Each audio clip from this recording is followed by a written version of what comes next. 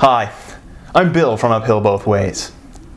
Many of you may know me as Bill of Bill and Steve, the hardware obsessed gay duo from the wildly popular sketch Just Cock It.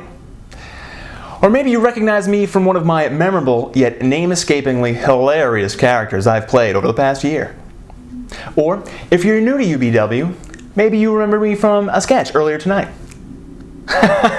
yes, that one.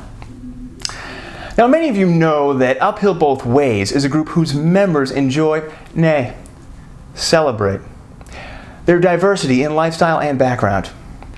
That's right. Uphill Both Ways consists of two gay and three straight members. Most people assume that I am one of the gay members of Uphill Both Ways, and I'm here to tell you that nothing could be further from the truth. I guess I should be flattered, as we all know how those gays can be snappy dressers.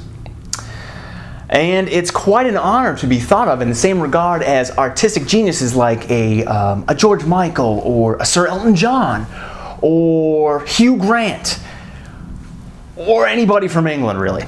But I'm here to tell you that I am not gay. So, in closing, I would like to say that there is really nothing wrong with being gay.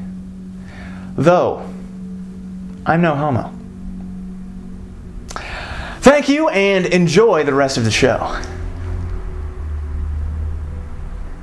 Are we are we done? Yeah, we're done.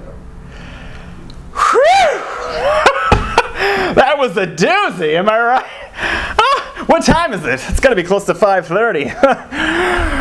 Moby Dix is having their how ho ho down, and I am not to miss that one. It's two for one. Shiver me timbers, if you know what I mean, fellas. I, I, mean, hello. Uh, was that convincing or what? Me straight?